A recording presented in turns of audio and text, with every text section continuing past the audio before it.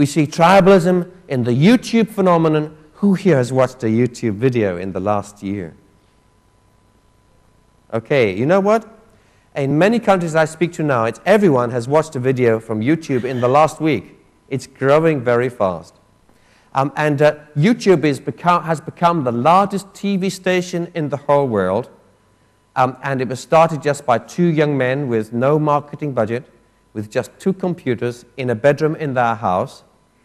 Um, and uh, they have just been given a check by Google for $1.63 billion, which is not bad. But they are forming tribes. These, these, uh, it's, it's, a TV station of tribes. Um, and uh, Google allows us to find our own tribe instantly. However tiny your tribe is, you will find someone in it.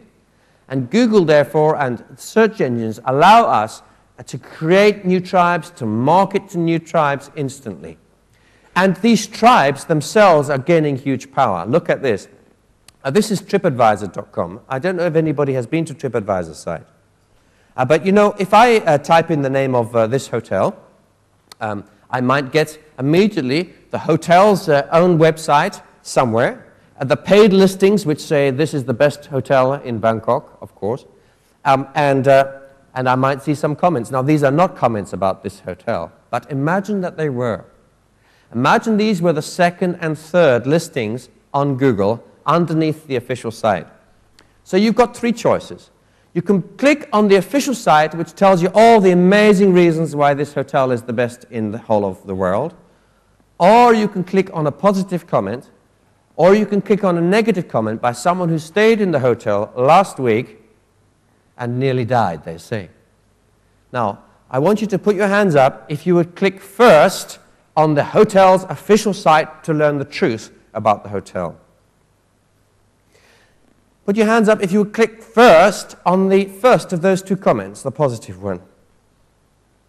Put your hands up if you would click first on the negative comment because you're worried about where you've been booked into.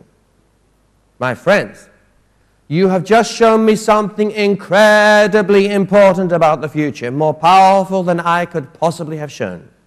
You have shown me the truth, which is that in the online world, advertising is dead. Why? because this poor hotel can spend $1 billion every week advertising, promoting itself. But you have shown me that you will not be impressed at all. You will not even click on that site. Why? Because if you can find another user, an ordinary human being, who is not paid by that hotel, that has made a comment, that you will trust that user more than the hotel, right? So it's the death of branding. It's the death of marketing, aggressive marketing. It's the birth of revelation, the birth of information. In fact, advertising becomes information.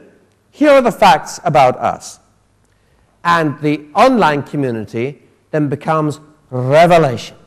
So we have the official site here, which says, these are our benchmarks. These are our customer promises. This is what we aim to do every single time. And then here is revelation. This is whether we are, they are consistent with the standards they have set. And in the middle, well, the advertising agencies in the world don't know where to go, I promise you.